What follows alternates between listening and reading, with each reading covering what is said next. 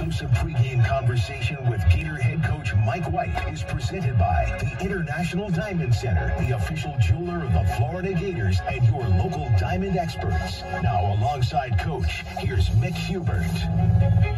Today here in Knoxville, the Florida Gators and the Tennessee Volunteers in the final game of the regular season. Like it was several weeks ago when you met Tennessee, they were six in the country then, and the Gators had a really fine game. and Obviously, Tennessee struggled.